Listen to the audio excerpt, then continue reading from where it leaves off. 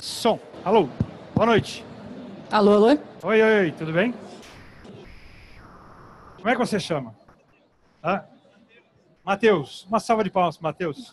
Senão a gente não ia estar até agora tentando resolver nossos problemas com computadores. Temos uma questão ali de afinidade, energia, sei lá, qualquer coisa. Bom, eu sou o Luiz uh, e essa é a Tatiana. A gente vai falar um pouco com vocês sobre o Bunker do Rock. Foi o case que a gente montou depois do Rock in Rio esse ano. Um case de cobertura ao vivo de conteúdo.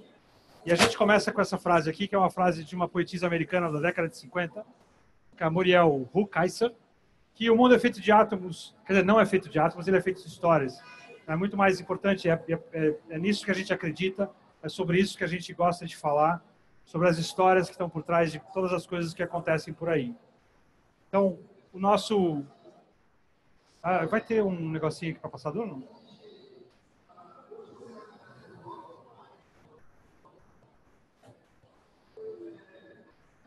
Obrigado. Tá ligado só? Beleza. Continuar.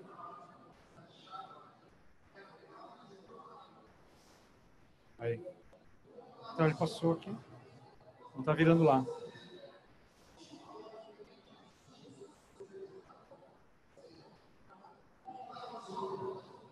Aí, pronto. Então a gente vai falar sobre o Bunker do Rock, a cobertura ao vivo que a gente fez do evento que a gente teve no Rock in Rio esse ano de 2000, aliás, o ano passado, 2017, já estamos em 2018. Eu sou o Luiz e essa é a Tatiana. E basicamente o que a gente queria passar para vocês aqui é uh, essa iniciativa do que aconteceu do ponto de vista. A gente sempre fez cobertura uh, de conteúdo ao vivo durante o, o, evento Rock in Rio, mas pela primeira vez a gente tinha uma equipe muito robusta para fazer isso. Isso só aconteceu graças a essa parceria. De um lado, o cliente muito, uh, digamos, comprando todo esse processo e esse projeto junto com a gente, e do outro lado, a agência Artplan, nós somos a agência que faz toda a comunicação do Rock in Rio, tanto digital quanto offline todas as estratégias de marca do Rock in Rio é feito, é, são feitas pela Artplan. Então, isso juntou a nossa equipe de conteúdo com o cliente numa empreitada conjunta para fazer desse o melhor festival que a gente poderia fazer em todos os sentidos. E para isso a gente vai dar um gostinho, vou voltar aqui, um gostinho de uma das da, de, um, de um filme, um filme de um dia, a gente fazia todo dia o resumo desse dia, um filme com o resumo do que aconteceu naquele dia, só para vocês terem uma ideia, para a gente entrar um pouco no clima do que foi o Rock in Rio de 2017. Podemos rodar o som? O som está rodando. Vamos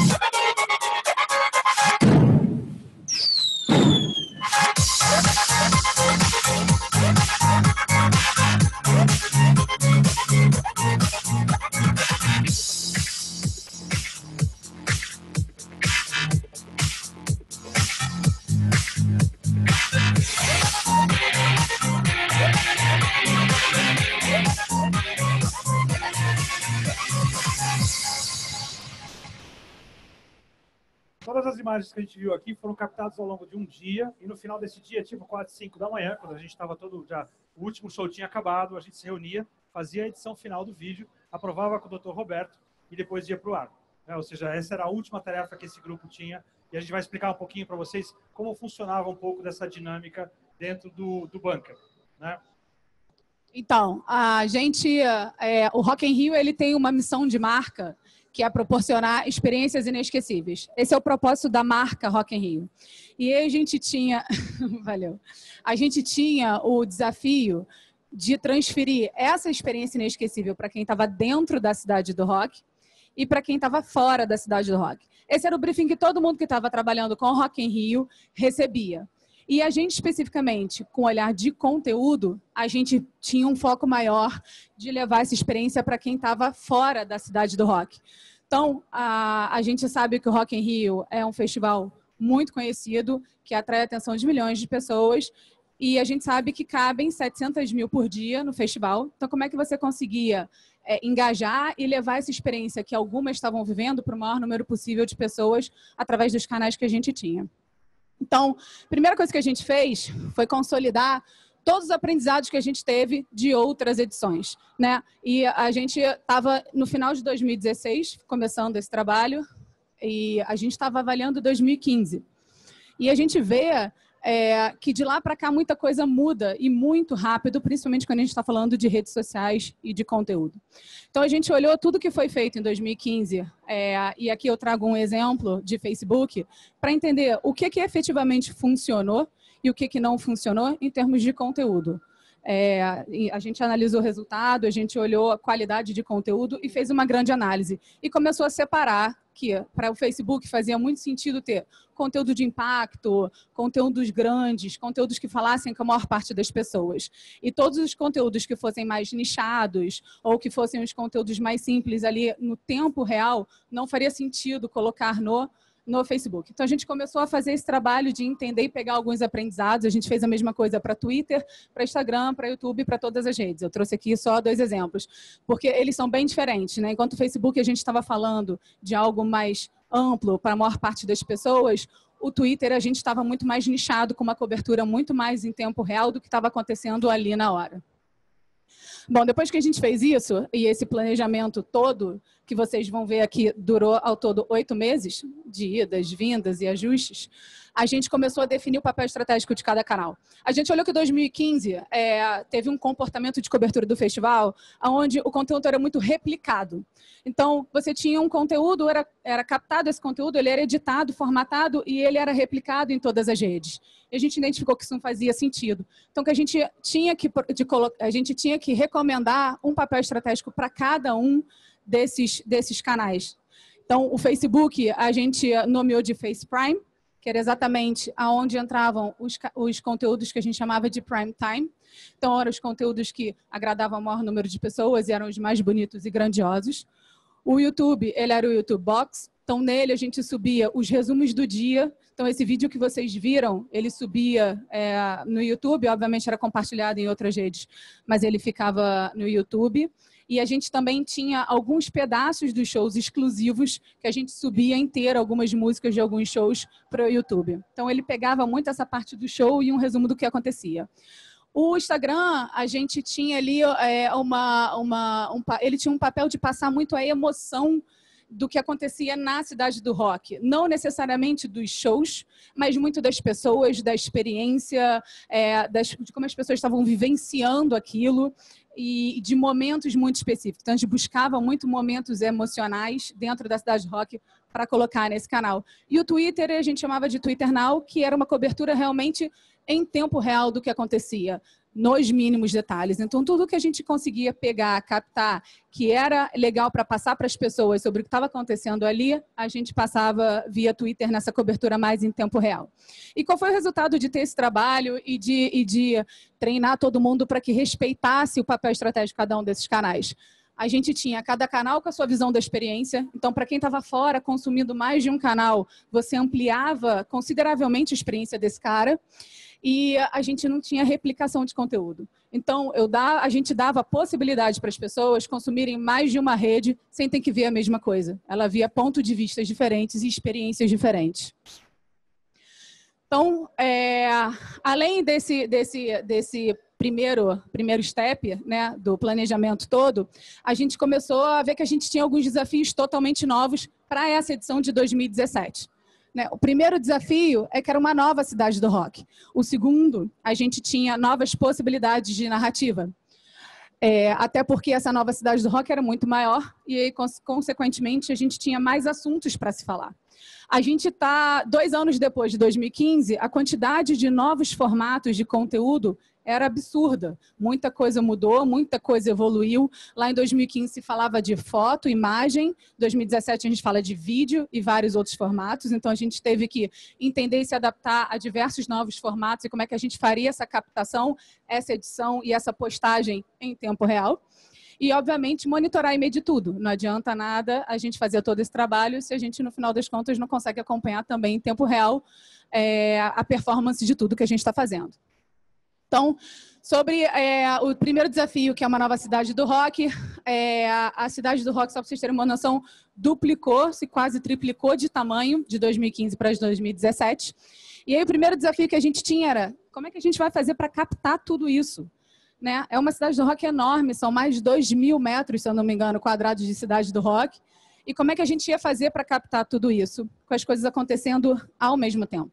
Então a gente deu uma olhada é, na programação do festival como um todo, pegou o mapa, que era esse primeiro mapa aí, onde a gente minimamente tinha aonde ficavam é, os palcos, e começou a mapear e entender é, que equipes poderiam cobrir que áreas dentro desse palco para que a gente tivesse uma cobertura inteira e que desse tempo das equipes conseguirem captar, produzir o conteúdo, editar, para chegar na central, que era o bunker, para a gente poder postar. Então, só para você ter uma noção aqui, eu vou fazer uma legenda rápida. Espera que eu não sei se vou chegar lá. Segura aqui, Luiz. Tem laser aqui, se quiser. Aqui era o palco mundo, bem aqui na reta. É, onde tem esse PM ali era o palco mundo. Lá era o Sunset. Aqui embaixo era a eletrônica. Aqui o Digital Stage. Então, só esses palcos, eles já tinham uma distância muito grande de um para o outro. E não dava para as equipes se deslocarem nessa velocidade toda. Então, é, a gente mapeou que uma das equipes ficaria com aquela área azul, a outra com essas áreas vermelhas e as outras com as áreas verdes. Porque aqui, que era Game XP, era um mundo à parte. Só ali a gente já tinha um universo enorme de captação que durava quase o dia inteiro.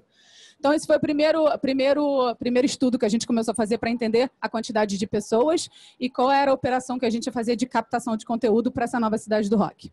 Só um detalhe com relação a esse assunto de geografia do Rock Rio. Por conta da distância também, e para facilitar a dinâmica do conteúdo subir, a gente instalou alguns pontos de upload de conteúdo espalhados por essas regiões. Então, o sujeito que estava captando o negócio aqui na eletrônica, ele não tinha que voltar até fisicamente até o bunker para poder ter uma, uma conexão de banda larga e subir o conteúdo. Ele tinha um ponto aqui que subia imediatamente aquele conteúdo e o pessoal do bunker descia, processava e publicava. Então, essa era uma outra facilidade que a gente acabou implementando também. Deixa eu pegar um negocinho. E além disso, a gente tinha uma equipe que era responsável pelas lives do festival, que era uma equipe que ficava é, andando pela cidade do rock e a gente a cada dia planejava quais seriam essas lives e quais seriam esses conteúdos que a gente faria, muito com base no que a gente aprendeu nos outros dias, o que deu certo e o que não deu certo. Sobre nova possibilidade de narrativas, é, o nosso ponto inicial foi entender e mapear o que, que essa nova cidade do rock, essa nova edição do Rock in Rio trazia de diferente, é, de novo e de maior para 2017. Então, é, o público eram 700 mil pessoas é, no festival, de artistas é, tinha, aumentou consideravelmente o número de artistas, porque aumentaram o número de palcos, eram três palcos, passaram a ser sete palcos. Então, a gente tinha aí mais de 200 artistas e 120 apresentações durante esses sete dias de festival. Então, tinha um volume muito grande de, de conteúdo e de narrativas acontecendo. É, a cidade do rock, por ser muito maior, ela trazia muito mais atrações. Então, ela tinha o Digital Stage, ela tinha outros brinquedos, ela tinha Game XP, ela tinha outras atrações além dos palcos principais que tinham em 2015. A gente tinha o Academy é, acontecendo no intervalo entre um final de semana e outro acontecia o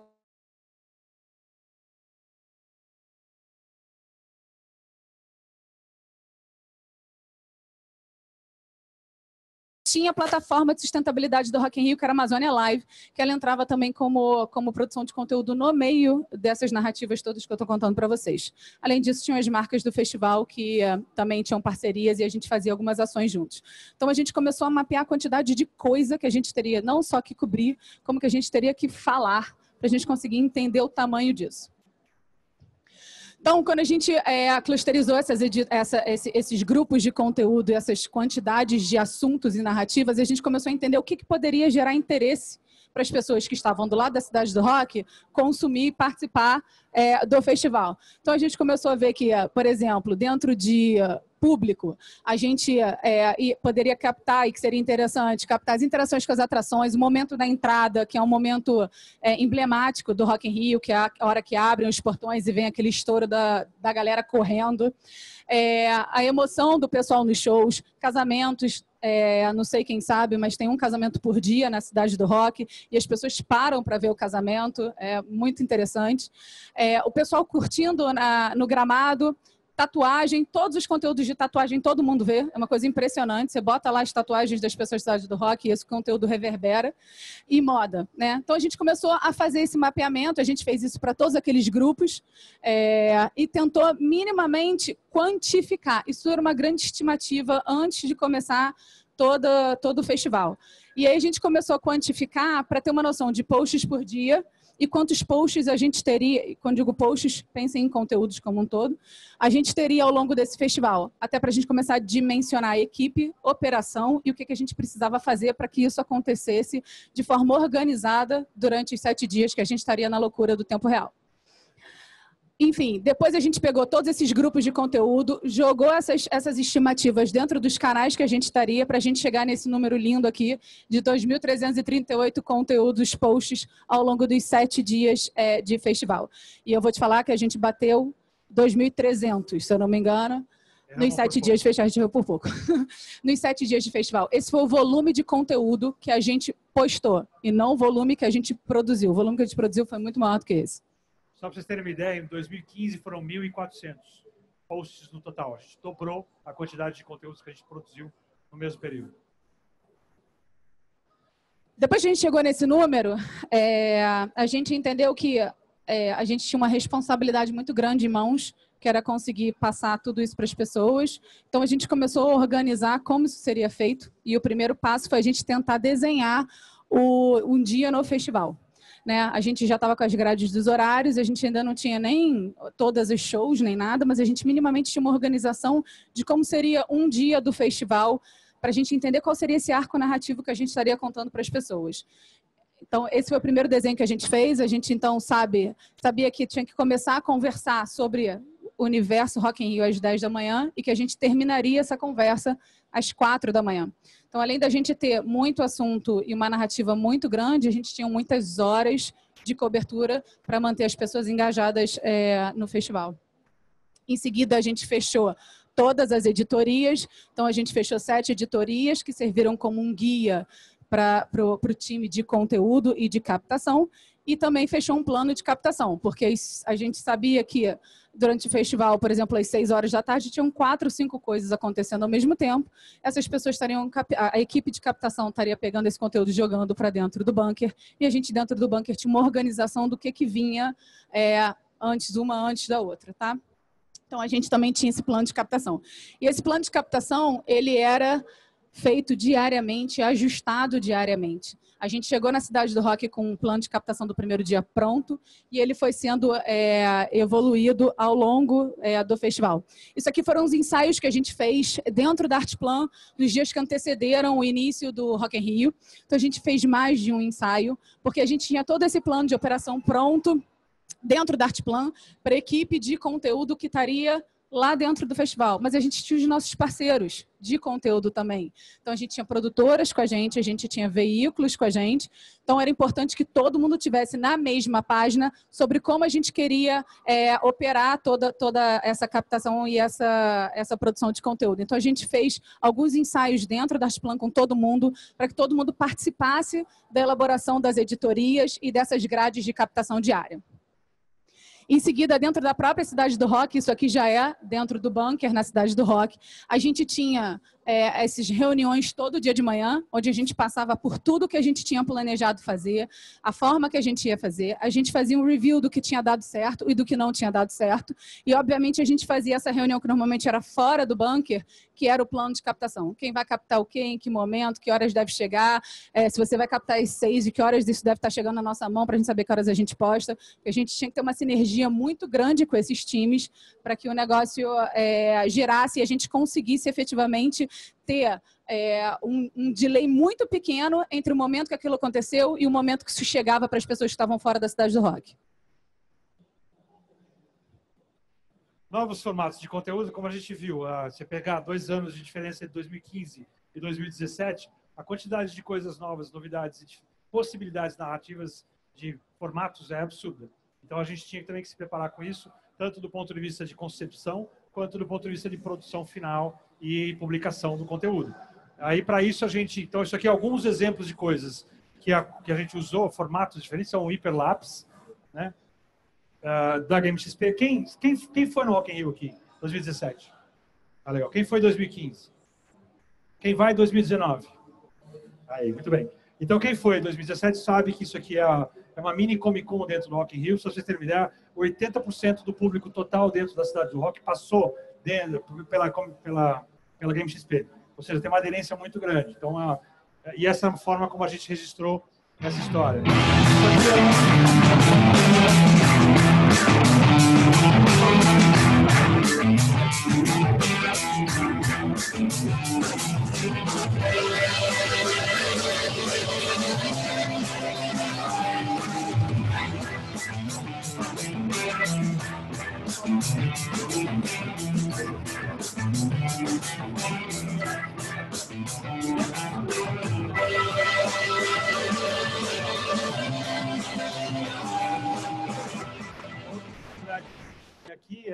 Fazer vídeo em 360. Esse é um vídeo 360 de umas experiências mais bacanas que a gente teve, que a gente sempre tem no Rock in Rio, que é a tirolesa. Então, você imagina, é, quando a gente pensa naquele objetivo de passar um pouco do que é essa experiência para quem está fora, isso aqui é bacana, porque, de fato, a gente consegue começar a aproximar um pouco desse, é, desse, desse cara que está olhando tudo do lado de fora. Tá? Isso aqui foi uma live que a gente fez, a gente tinha uma, a gente fazia lives exclusivamente com o Facebook, para isso a gente tinha uma produtora lá dentro para fazer. Isso era uma live com interação, ou seja, essa pessoa estava no backstage do Palco Mundo e ela pedia para as pessoas escolherem para onde ela ia. Ah, eu vou para o camarim ou eu vou para o After Bridge. Depois de um tempo, as pessoas votando, ela escolhia e você seguia ela na decisão que foi tomada interativamente a, pelas pessoas em tempo real. Tá? Então, são formatos de conteúdo. Pela primeira vez no Brasil, uma marca usou realidade aumentada do Facebook, que foi o Rock in Rio. Esse aqui é o Medina usando a nossa AR, uma das várias que a gente tinha criado especialmente para o evento. Então, são formatos, são possibilidades que fizeram com que a complexidade de captação, produção e publicação aumentasse muito de um festival para o outro. Né? Para isso, então, como a gente não fez tudo sozinho. Esses foram os nossos parceiros de captação, de produção de conteúdo, na, que estavam em loco com a gente junto da gente no bunker. Para foto era o iHate Flash. As lives, como eu falei, eram exclusividade do Facebook e isso foi feito com uma produtora que chama Vox, que era o contato que eles tinham. A 14 foi a nossa produtora de vídeo e a gente tinha, por conta do, do, do Digital Stage, uma, uma, uma, parceria com o Digital Stars, que fazia com que todos os influenciadores que estavam passeando pela cidade do rock entrassem dentro do nosso conteúdo e conseguissem promover algumas das coisas que a gente estava criando. Então, isso foi perfeito, porque algumas delas bombaram. Né? Um outro desafio que era bastante complexo era como é que eu faço disso tudo um case de dados também. Não é simplesmente uma questão de conteúdo, o que a gente produz, o que a gente faz e o que a gente sobe, mas como é que eu aprendo com esse conteúdo. Um dos filmes que vocês viram aquela hora da, da, da revisão que a gente tinha diária era a equipe de BI que estava instalada dentro do bunker, dando insights de resultados de conteúdo do dia anterior para que a equipe de conteúdo pudesse pensar que modelos ou formatos teriam, uma performance melhor a partir daquilo. Ou seja, eu aprendo, eu aplico, eu faço, eu aprendo, eu aplico, eu faço. E, então, essa parte de monitoramento foi complexa. A gente criou todo um ecossistema de dados, tentando pela primeira vez integrar várias dessas fontes de informação. A fonte de ticket, a fonte de audiências, que a gente tem um processo todo de entender quais são as audiências, quais são as informações de monitoramento, de analytics, que são fornecidas e acompanhadas em tempo real, para que a gente possa tomar decisão de conteúdo. Tá? Uh, isso aqui, por exemplo, a gente tinha 120 beacons espalhados na cidade do Rock. Cada beacon associado com o app, o app do Rock in Rio e o Bluetooth uh, conectado, ele me deu informação de localização das pessoas dentro da cidade do Rock, localização física. Isso aqui, se vocês olharem aqui, é o acompanhamento de algumas horas de movimentação das pessoas dentro da própria cidade do Rock. Para que, que serve isso? Para eu entender onde o fluxo está maior, quando eu tenho que agir, a gente tinha um bot no, do, dentro do, do, da, da, possibilidades de entrega de conteúdo, tinha um bot e a gente podia fazer, e fizemos várias uh, mensagens via push, pelo bot ou pelo aplicativo, dizendo para as pessoas que alguns lugares estavam mais livres do que outros, elas tinham promoções específicas para aproveitar em alguns outros lugares e assim por diante. Para isso, eu tinha que mapear, entender e captar a movimentação física dessas pessoas. Tá? E esse era um dashboard que ficava colado na parede do bunker com os KPIs que a gente tinha naturalmente aprovado e alinhado com o cliente, para que a gente pudesse saber em tempo real tudo o que estava acontecendo com o nosso conteúdo. Né? Ah, e aqui são alguns relatórios que foram gerados a, a posteriori desse processo, alguns específicos das lives. Então, eu fiz um relatório de live, tem um relatório de influenciadores, um relatório de AR. Eu fazia recortes específicos com os dados que eu tenho e consigo agora ter uma leitura de aprendizado muito mais rica do que eu jamais tive em todas as outras edições do festival. É. É, enfim, a gente é, tinha também um grande desafio de gerenciar um bunker com mais de 75 pessoas. É, como vocês viram lá, os parceiros, esses parceiros todos foram para dentro da cidade do rock e ficavam alocados lá com a gente nesse enorme bunker. Passa aí, Luz. É... Agora tem uma foto linda. é, e aí a gente tem. Ixi. Deu ruim. Passa aí.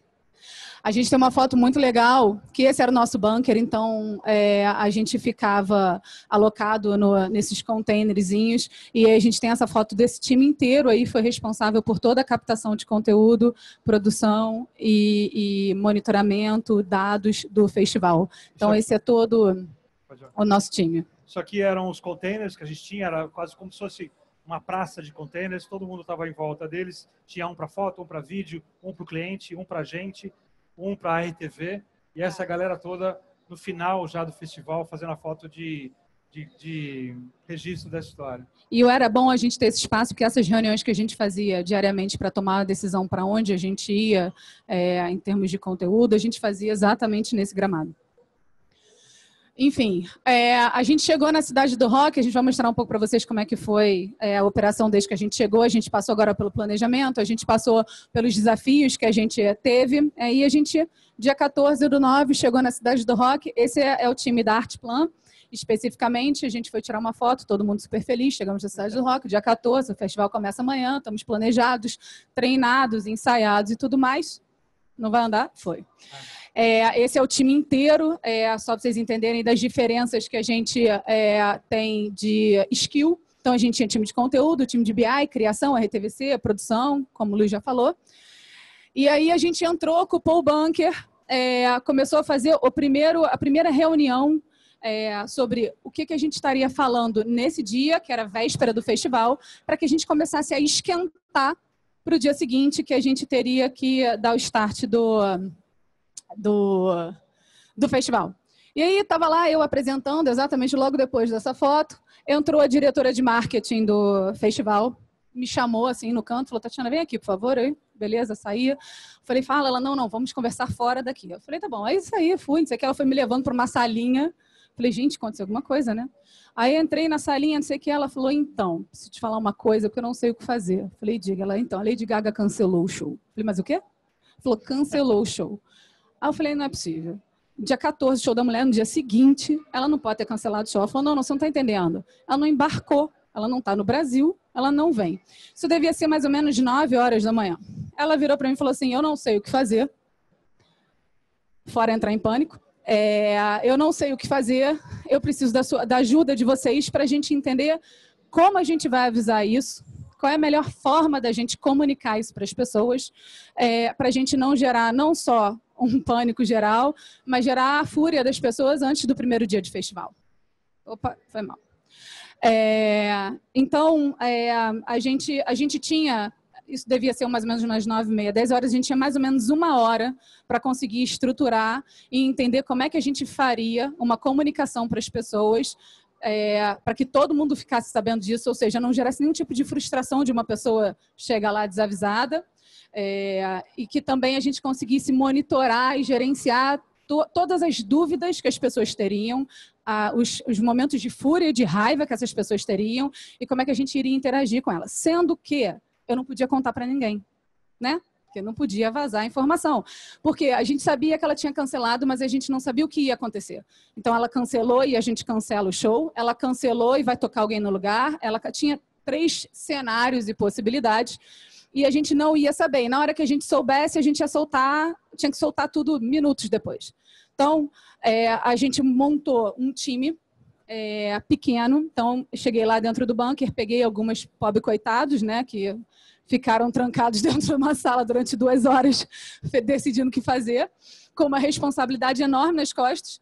É, e a gente fechou uma pessoa de BI para ajudar a monitorar e a gente entender como é que estava reverberando, um designer, né, uma pessoa de conteúdo, é, um DA, uma pessoa, um supervisor de conteúdo é, a gente trouxe também é, o nosso maker, que estava lá para ajudar né, no bot e para subir é, é, tudo no site também, porque a gente ia ter que subir tudo junto. E fechou um plano de que, cara, a gente vai, é, a gente vai vai, vai botar essa informação em todos os canais oficiais do Rock in Rio ao mesmo tempo e deixar eles lá o maior tempo possível. Então, quando bateu o horário, que foi mais ou menos umas 11 horas, que chegou a confirmação de que é, o Maroon 5 faria o show no lugar dela, a gente já tinha os três cenários, as três peças, a gente só pegou uma peça e juntos a gente subiu.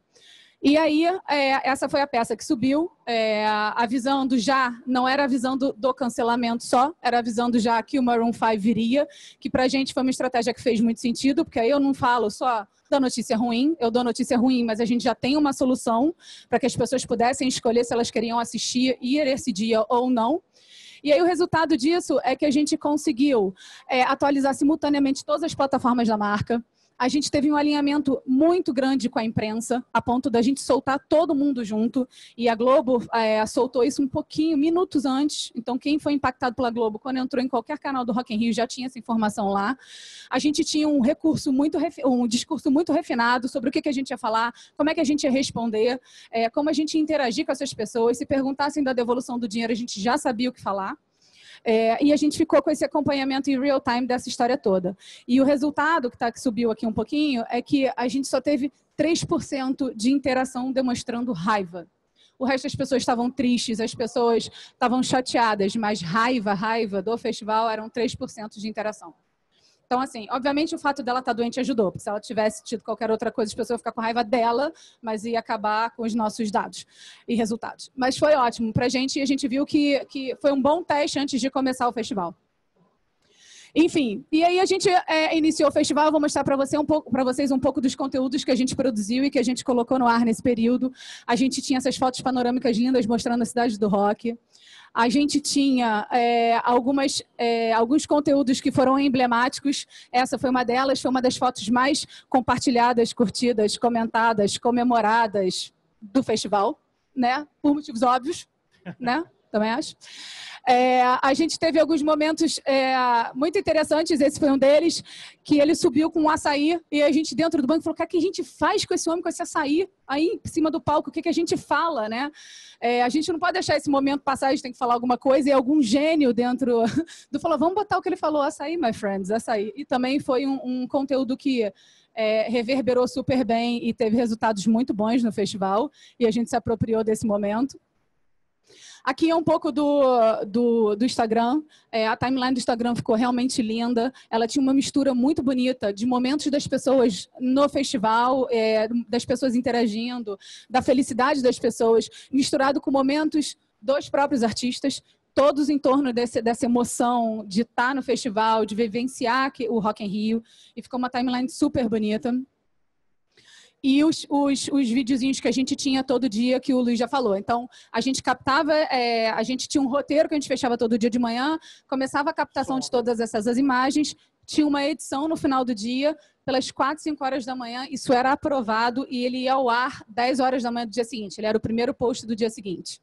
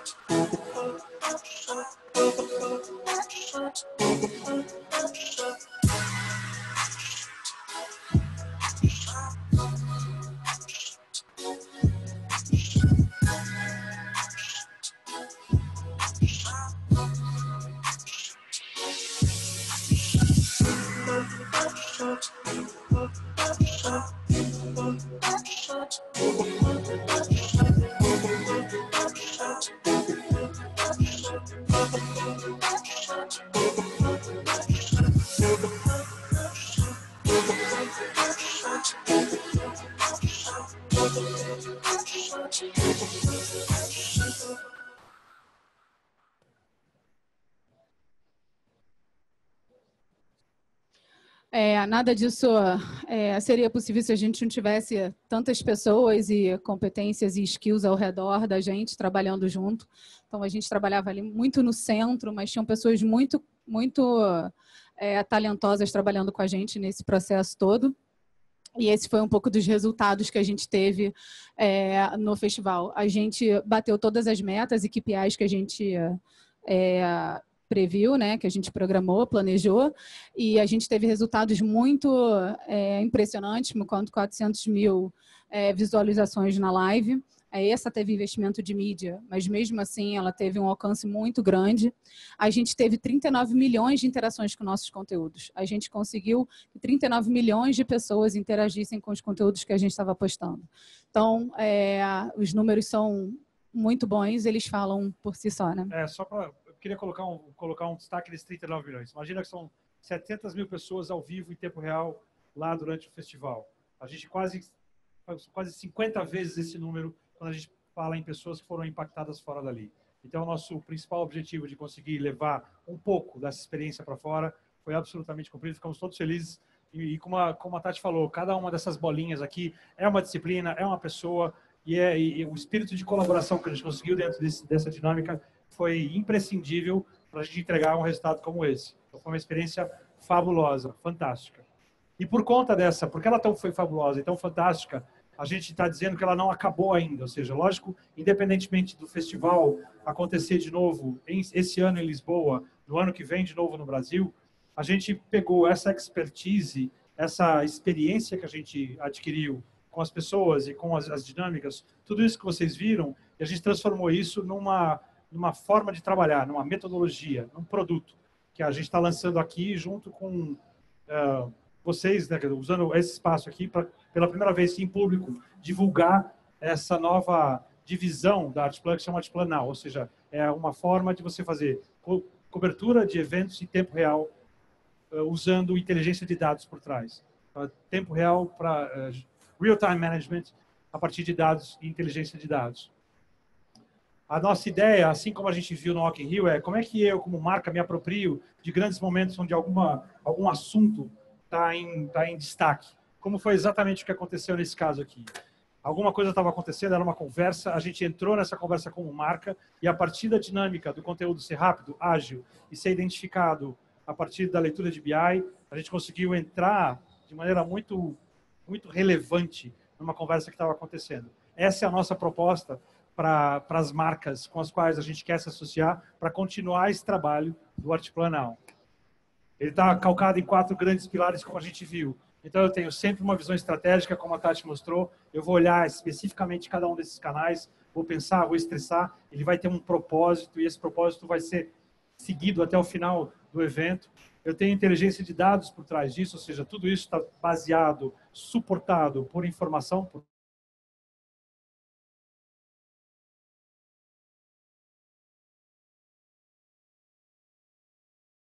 visual, do ponto de vista de tom de voz. Então, a gente garante isso ali na, na, na excelência criativa. E, obviamente, eu tenho que executar isso também da melhor maneira possível. Não adianta eu ter toda uma estratégia montada se eu não conseguir entregar isso no dia a dia, como a gente conseguiu fazer com a ajuda dos nossos parceiros.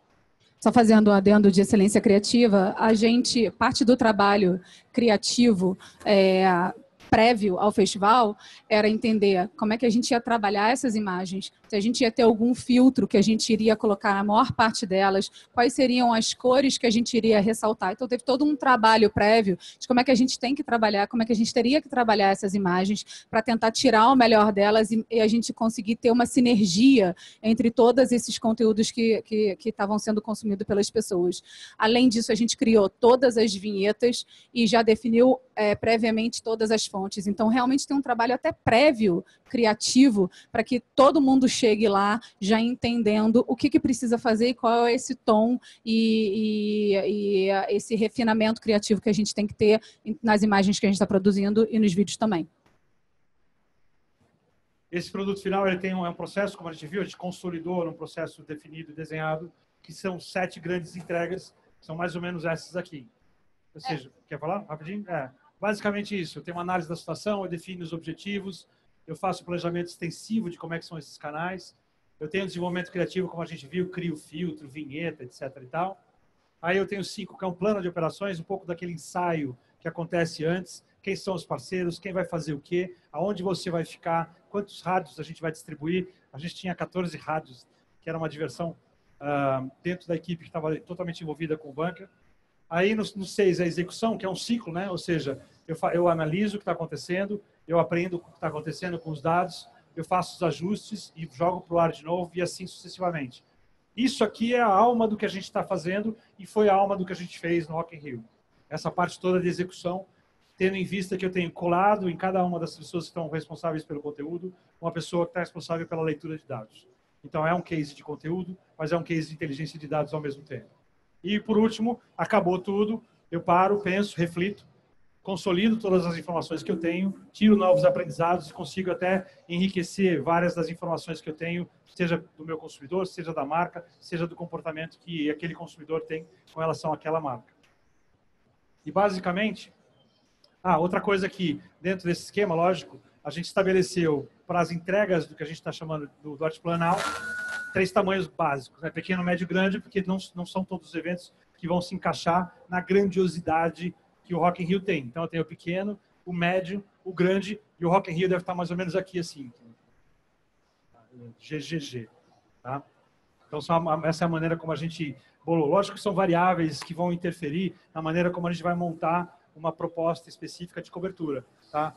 Mas assim a gente consegue deixar um pouco mais simples a maneira de entender esse processo. Só para vocês entenderem, a gente acabou de estrear uma primeira iniciativa com a nosso nosso cliente do Rio de Janeiro, que chama Estácio, a Universidade Estácio.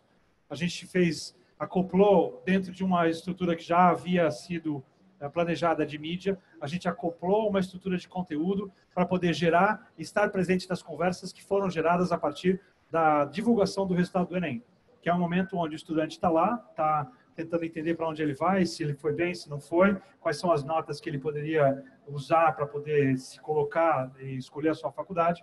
Então a gente, nesse momento, com a mesma dinâmica do que a gente viu no Banca do Rock, do Rock Rio, a gente criou, entrou em conversas, criou vídeos em dois dias com a, com a temática que estavam sendo discutidas nas conversas que a gente monitorou.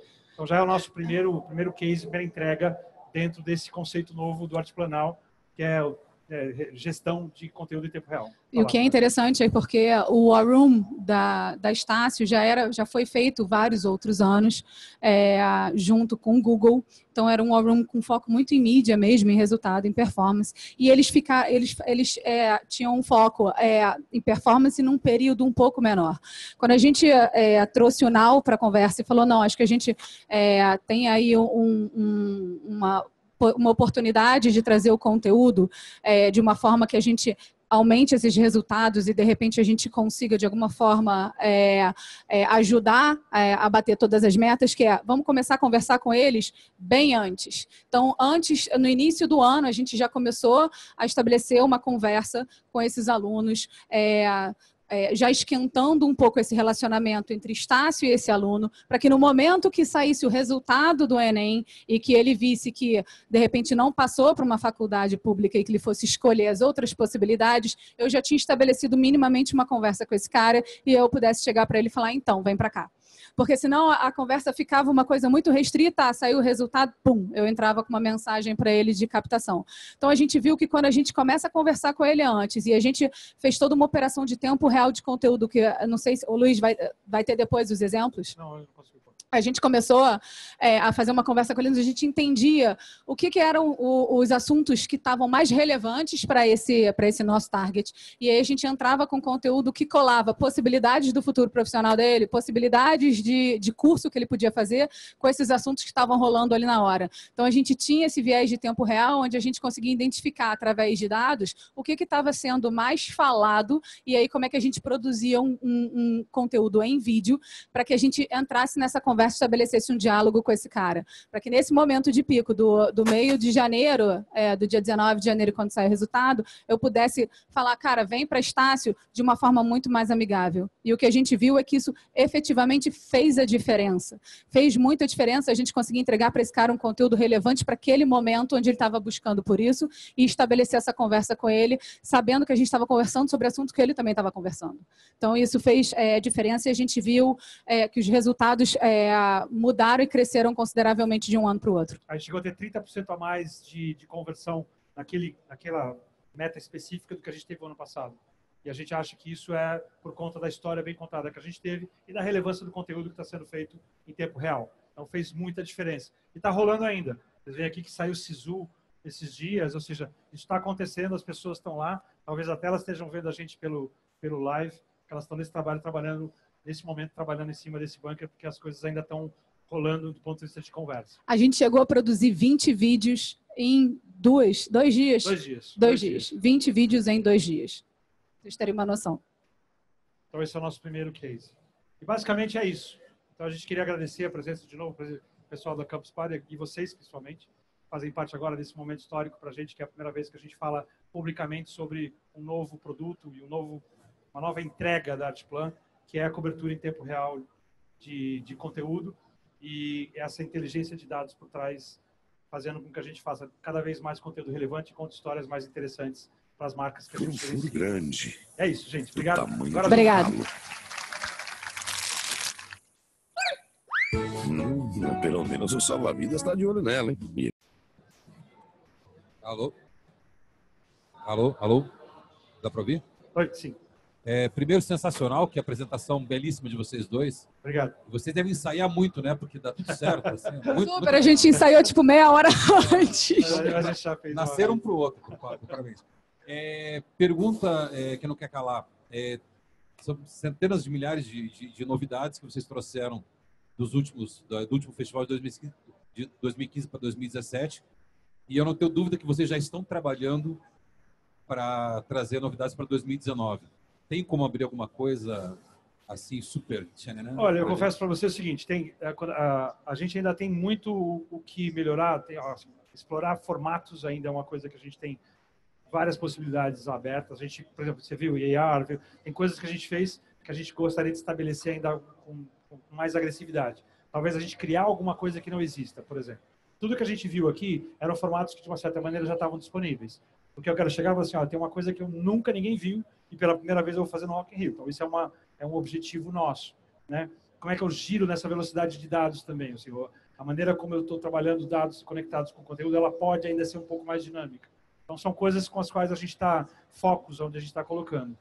O que é difícil para a gente é assim, é, a, a, a, velocidade de mudança é muito grande. Então, eu só vou saber exatamente qual que vai ser o meu real desafio no começo de 2019, daqui a uns tempos, aí eu vou conseguir, putz, eu tenho outras coisas com as quais, mas eu não tenho nada planejado agora. A minha angústia atual seria essa, assim. Eu queria fazer uma coisa que ninguém tinha feito. A gente fez isso com AR, né? A Augmented Reality do Facebook foi a primeira vez que uma marca fez no Brasil. Mas estou falando de linguagem. Tá? Acho que a gente tem uma coisa de linguagem aí e para mim vai ser importante conseguir quebrar. A moça lá?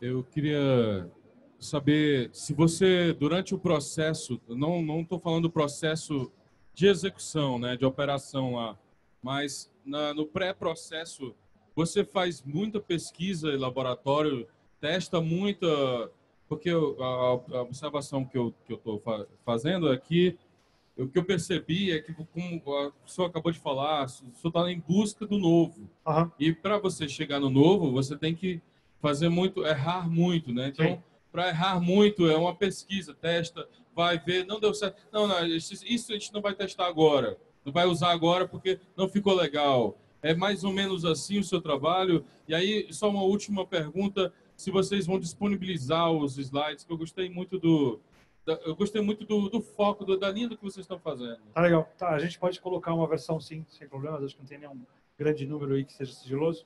Eu vou começar a responder, depois se quiser você complementa. Do ponto de vista de, de, de pré, preparo, né? Um ponto importante é assim, nós cuidamos da rede, das redes sociais e conteúdo do Rock in Rio desde sempre. Então, as pessoas que foram especificamente para o evento são pessoas que já estabeleceram uma linguagem de, de, com o nosso público já corriqueira. Elas já se conhecem, já sabem, tem uma pegada, tem um tom de voz. Então, essa pesquisa, na verdade, ela é uma pesquisa empírica, porque eu já sei o que funciona e o que não funciona com o meu público. Mas fazendo isso que você falou, eu ponho, eu meço, eu erro, ah, isso aqui não pegou bem, isso aqui talvez seja para um outro público e assim por diante. Então, existe um, um, esse planejamento que foi feito de definir o papel de cada canal, como é que isso de fato ia, qual é o propósito dele, ele já foi feito tendo em vista uma experiência muito grande que a gente já tinha com a marca e, obviamente, com as pessoas que são os amantes dessa marca. É, e como a gente teve uma análise das outras edições, a gente minimamente já tinha um cheiro do que dava certo do que não dava certo. A gente é. pegou todos os conteúdos, viu o que, que performou melhor, o que performou pior, e a partir dali a gente já tinha informações para que a gente tivesse minimamente uma espinha dorsal sobre o que, que a gente podia falar, que a gente sabia que, que, que ia reverberar bem.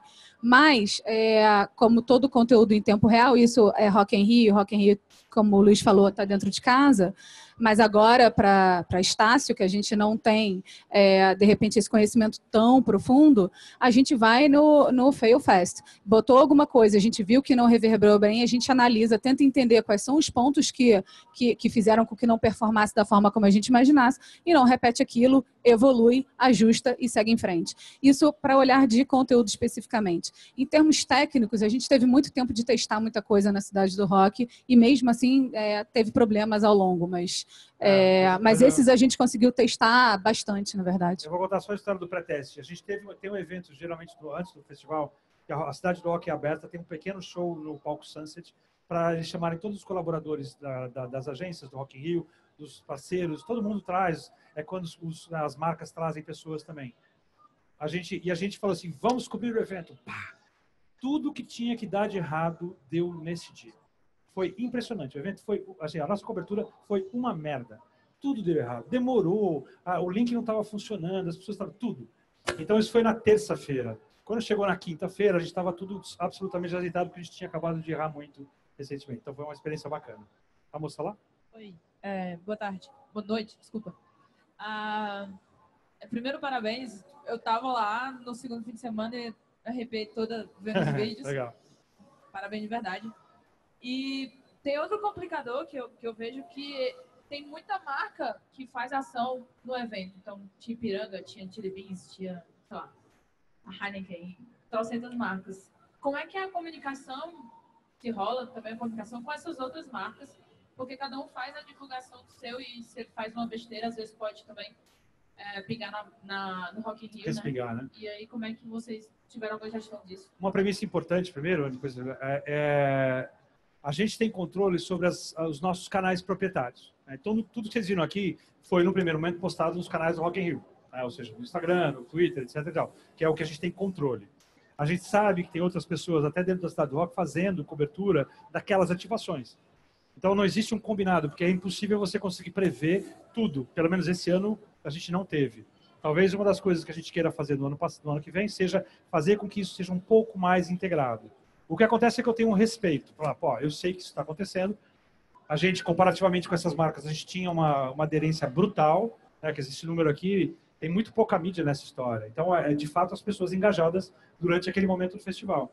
Então, elas sabem que a gente tem esse, digamos, um, um pouco mais de influência do que elas, do que elas naquele momento.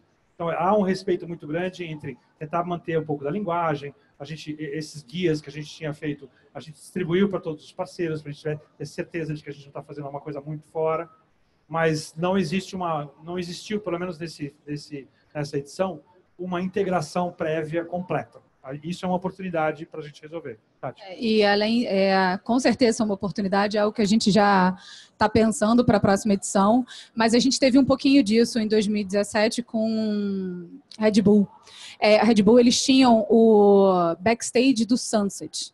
É, e aí eles faziam muito conteúdo no backstage do Sunset para alimentar é, os canais de Red Bull e essa cobertura do festival que eles faziam. E com eles a gente conseguiu trocar bastante. Então a gente realmente aproveitou alguns conteúdos deles, eles aproveitaram alguns nossos, em alguns momentos até é, as marcas se falaram e a gente é, eles fizeram um salto de paraquedas é, no meio da cidade do rock, né? Tinha um avião e pularam duas pessoas é, da Red Bull da, do avião, e aí a gente cobriu esse pulo via redes sociais de Rock in Rio. Então ali a gente conseguiu minimamente ter essa troca e essa sinergia, e definitivamente é um ponto para evoluir para 2019, onde é que a gente consegue ter uma, ter, uma, ter uma conversa legal entre marcas rolando no período de festival.